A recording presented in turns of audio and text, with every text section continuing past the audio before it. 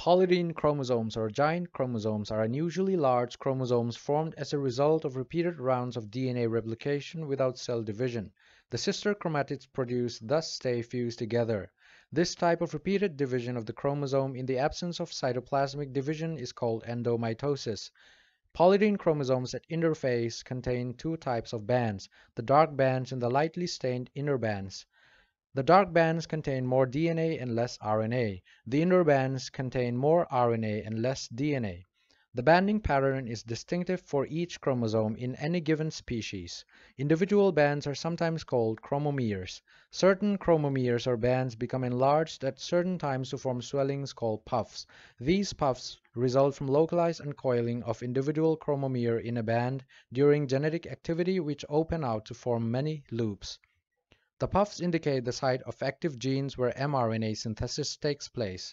The chromomeres of puffs give out a series of many lateral loops which appear as rings and are called Balbiani rings and are the site of active transcription. Polytene chromosomes are found in various tissues such as the salivary gland, rectal and Malpighian excretory tubules in the larvae of some flies, as well as in several species of protozoans and plants. In this experiment, we're going to prepare temporary stained slides of polytene chromosomes isolated from the salivary glands of the larval stage of Chironomus insect, also known as the blood worms. For this experiment, we'll need acetocarmine or aceto-orcein stain, immersion oil, tweezers, pins, droppers, glass slides and cover slip, magnifying lens or a simple dissecting microscope some blotting papers, a compound light microscope, and Chironomus larvae collected fresh. First off, the larvae of the Chironomus fly are collected from their natural habitat, which includes basically any stagnant pool of water with a medium to high level of decomposition. Droppers are used to collect the larvae as shown here. Chironomus larvae are about a centimeter long can be seen wriggling in the water and are easily identified by their blood red coloration, which is due to the presence of hemoglobin in their blood. An individual larva is placed on a glass slide in a drop of water.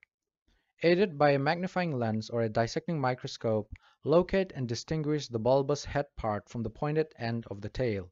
Using a pin or a tweezer, hold the larva in position in the middle. Using a second pin or tweezer, Gently pull the head away from the thorax. With a little practice and patience you will be able to pull off the head along with the gut and the pair of salivary glands which are situated just beneath the head. The salivary glands are whitish, semi-transparent, and roughly oval structures about a millimeter or so in length and contain several cells.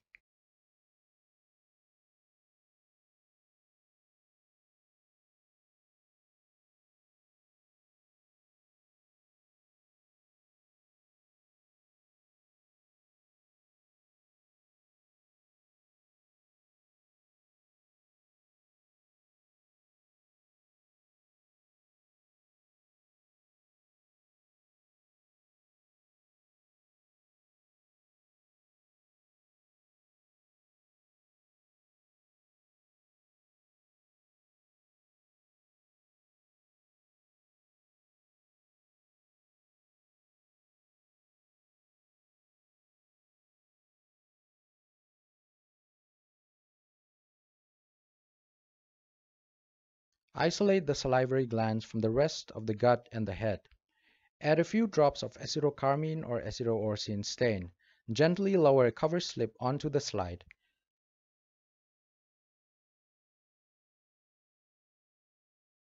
Tap the cover slip with the blunt end of a forceps a few times.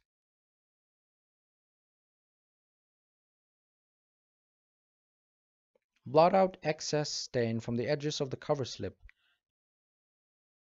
The slide is now ready for microscopic observation.